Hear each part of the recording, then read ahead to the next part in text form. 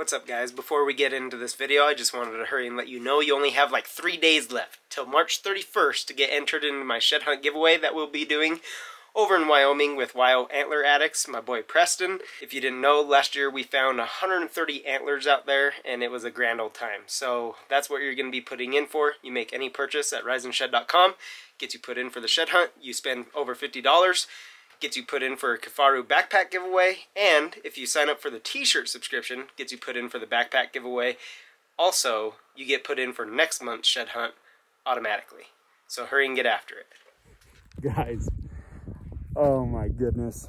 I glassed something so far away, so far away, and I could just see a back end from what it looked like, and I wasn't sure, but I was like, I just, I have to check, right? I just have to go check.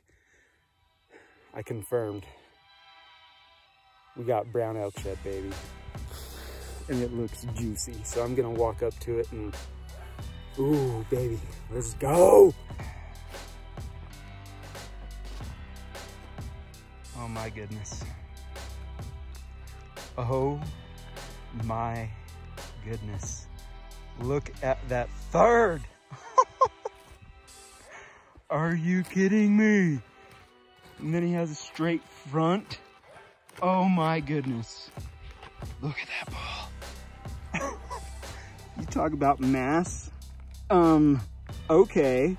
Are you freaking kidding me right now? Oh my gosh. Look how thick he is all the way up. Oh my goodness. You're shitting me. Oh. Get out of here. Get out of here. That is insane. That is such a sweet bull. Oh my goodness. I got to get him marked on the Scout to Hunt app.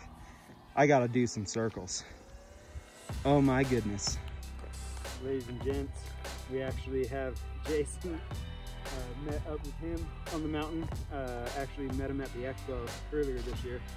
And Jordan came up and met with us. We had Bridger that was going to meet with us because he was working his way up, and then we have three other gentlemen. But oh, what a oh. dense bull! Oh my goodness, that thing is, dude. He's heavy. That thing's big. He's super heavy kind of short beam, but everything else is just, oh my goodness. Hell yeah. Oh my goodness. Stupid. Guys, I think I just did it again. I think I just glassed up another brown. Walking over to it, I can only see what would be its fronts, but I'm pretty sure it's a shed, a brown shed. It just has that color and that texture. So I gotta get a different angle and see if it really is.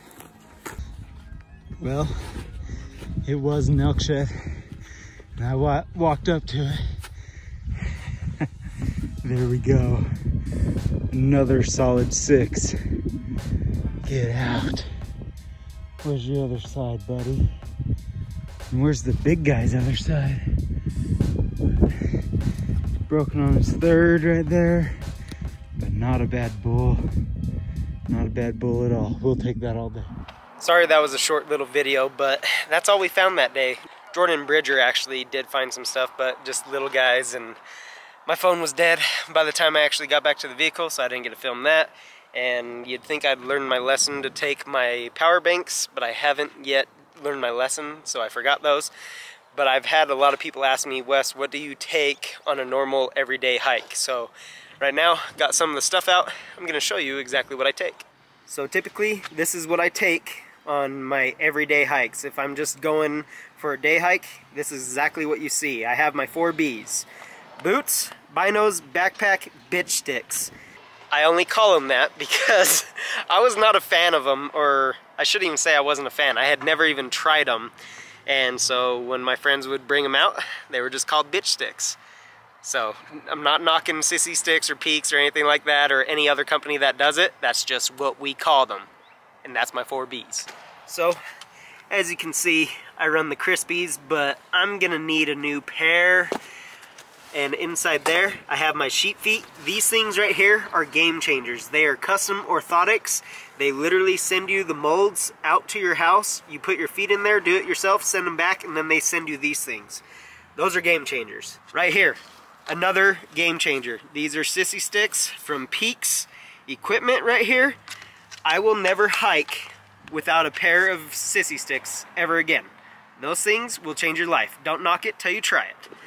And then I have my binos that I run. I usually run 10 by 42s right there. I like being lightweight as possible. And then I switch up the backpack. I used to be with Horn Hunter and you know, I just, I wanted to try something new and Kifaru was the one that I chose. So I always take my waters uh, inside here.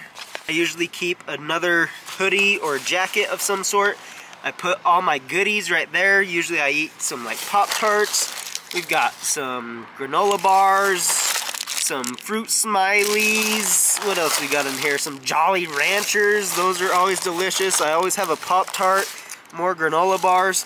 I just have all the snacks.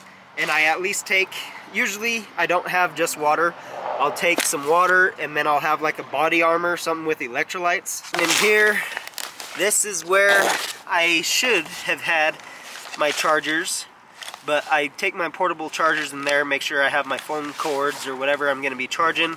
I have my Phoneskope attachment for that when I need to film animals. And then over here, I have my baby wipes, and I actually have uh, a water filter, and then I carry my gun right there, my 9 millimeter and that's mostly for uh, just emergency uses and or just dumb people. Usually don't have a problem with animals. Uh, I usually take the gun more for in case things get a little bit western. So you just, you, you never know. So you just always got to be ready. But for the most part, that's honestly all that I take on my day hikes. When I just want to hurry and get after it and hurry and go hike, go find some sheds, that's all I take. Sorry, I had to bring it back inside. It was getting stormy and rainy and windy and it just, it was not good. But that was pretty much it. I just make sure I have enough food, water, and just my four Bs to go out on a day hike, and that's usually all I ever take. If you guys haven't heard, Scout to Hunt is doing a $50,000 Bitcoin shed. You can either take the $50,000 Bitcoin or take $50,000 cash. What I need you to do, go into the link in the description of this video, Go click on that, download the free app, become a Shedicated user for only $30 a year, and that will actually help you get clues two weeks in advance before everybody else does. But other than that, I just appreciate you guys for everything that you do for me and my family. Without you guys, I don't go anywhere and this business doesn't grow. So thank you from the bottom of my heart. I love you guys. Thank you so much. We'll see you on the next one.